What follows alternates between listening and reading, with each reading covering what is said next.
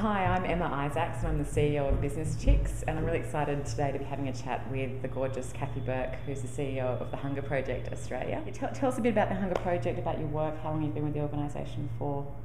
The Hunger Project, well basically we, we're about ending world hunger and we exist fundamentally because we believe that people, particularly the hungry, well everyone is extraordinary, but it's the, the hungry themselves, the poor, the marginalised and women who will play the leading role to end hunger. So our, our work is how do you unlock their capacity, their entrepreneurialism, their leadership, their strength, so that they can feed themselves and their families. And we do that around 12 countries around the world. And it's a different sort of way of looking at things, though, isn't it? The Hunger Project. It's not about charity and just giving for giving's sake. It's very much around mindset. So you can tell us a bit more about your methodology yeah, like, and. Yeah. So people who live in hunger are profoundly resigned. They're, they have no, um, so they've always been hungry, they're hungry now, and their future is just an extension of that past. And people are hopeless, they can feel Allah has deserted us, uh, government has abandoned us, the charity was there for a bit and then it's gone. People are really resigned, they're cynical. So it's, it's, it's interrupting that that mindset um, is really key because you could put any kind of program in, but if people fundamentally believe that it's not going to work and feel cynical about it, it just isn't going to work. And we know that from our own sake. We're all human beings, whether you're a village woman or a you know CEO of business chicks. So, so we have a whole bunch of different stuff that we do around that. Uh, we only have local people working in the country, and, and it really it's a movement. It's, there's millions and millions of people involved who wake up every morning and, and just get on with bringing people together. Some women go door to door.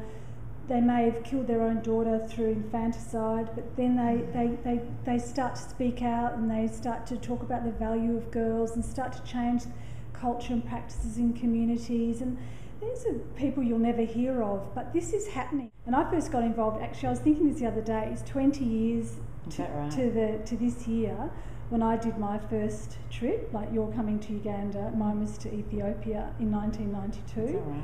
Yeah, and that that started for me this incredible odyssey of um, redefining my life as bigger than just my own. Hmm. My own, you know, my own bits and bobs, and I was had a young daughter and everything, and to actually being someone who could make a difference in the world and make a meaningful impact, even though um, I wasn't, you know, head of the UN or whatever. So you, you, talked about yourself when you went on your first trip. You had a young family. Did you just have the one child at that, at yeah. that point?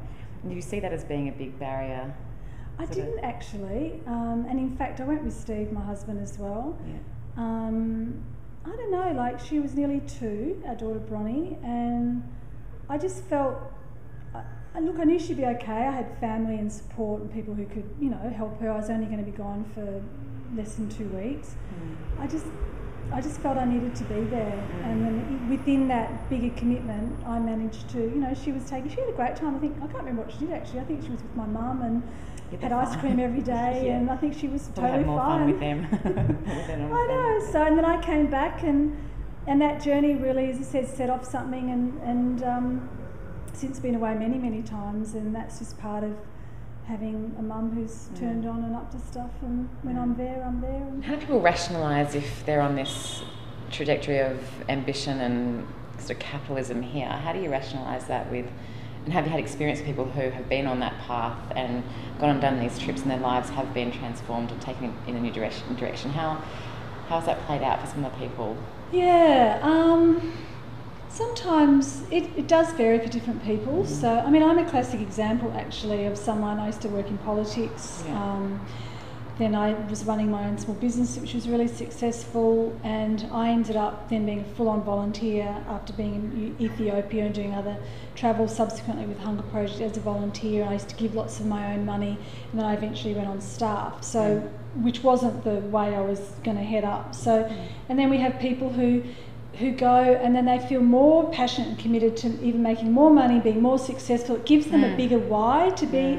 Because you know, especially when you've been in business, people can lose the hunger for it. You know, you've got a nice house, you've got a car, or you've got what what. It's comfy. And it's yeah. like, well, what else? What's where's my stretch? Mm. Or if you're new in your um, career or your business and money's a bit tight, it is a, it is a stretch to be able to go. But then, this is certainly my experience that you start to see how how money is just energy and, and you can expect you can actually grow it to what you need and, and then shrinks to what you don't need and you have a whole new relationship around time and money. You're going to come on the Ugandan Business Chicks immersion trip. Yeah. How come?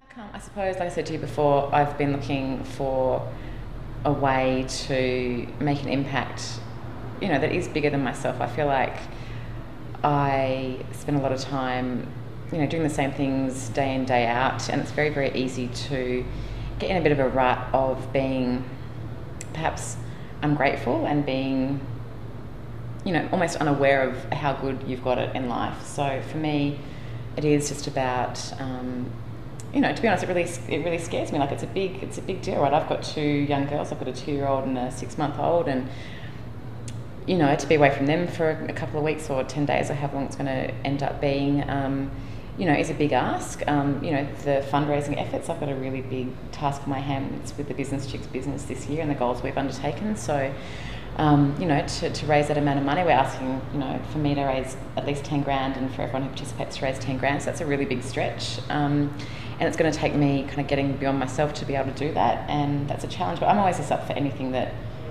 scares me, I suppose, and puts me outside of that. And what can people expect from going on one of these leadership trips if they're interested in coming with us?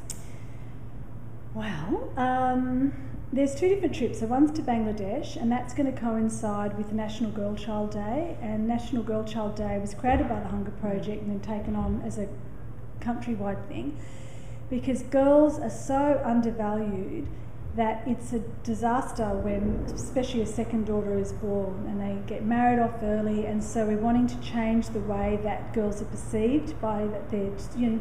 So the whole purpose is to let's celebrate our daughters, let's love them, let's mm. educate them. They can actually be a benefit to the family, and so the business that trip to Bangladesh is really going to that'll be the, the centre of around that. We'll spend time in villages.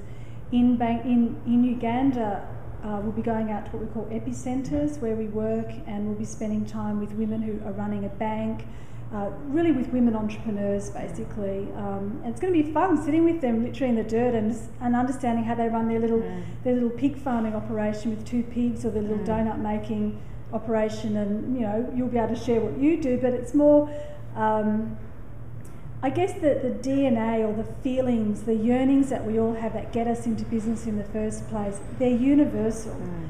Uh, you want you, you want you like the challenge. You want to provide for your family. Mm-hmm. So there'll be aspects of learning um, from the women that we, we work with. Um, but what's going to be also really great is that us as women, it's really for people who want to lift the lid off what's possible for you in your own life as well. So um, we have our own limiting sets of beliefs, understandings. We can be resigned and cynical about stuff as well, and it keeps us playing small. So we're going to have some days where really it's working with us to be 20 awesome women. We'll have a facilitator with us as well, working on our dreams, our goals.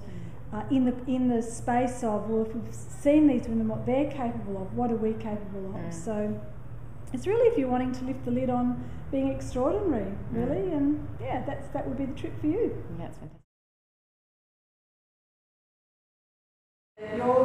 The Ugandan Business Chicks emotional Leadership Trip.